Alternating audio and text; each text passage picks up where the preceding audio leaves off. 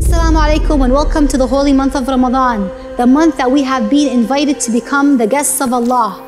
I will be tackling on Imam Hussein TV3 many different topics that will allow us to use this holy month wisely, from becoming close to Allah, changing ourselves, hypocrisy, to seeking forgiveness, and to prepare ourselves for this holy month.